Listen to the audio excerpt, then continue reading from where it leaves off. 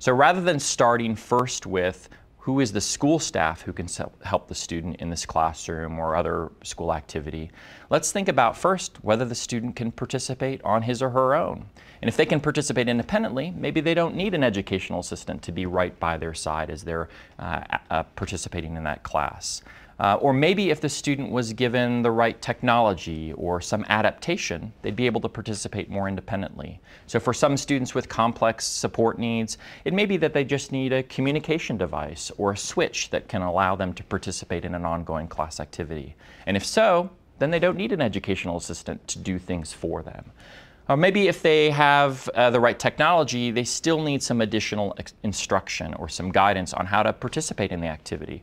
And so as a teacher, you might provide some additional skill instruction so they know what to do. When they're working with their peers in a class, if a student can't do it on their own or they, uh, the right technology isn't sufficient, we might look at how we pair peers up with a student to help with some of the supports a student might need. What we're really encouraging educational teams to do is rather than starting with the first line of support being an adult, we start to think about this more hierarchy of can they do it independently, can they do it with technological supports, can they do it with peer supports, and if the answer is no to all of those questions, then we start to think about more individualized one-to-one -one support from an adult.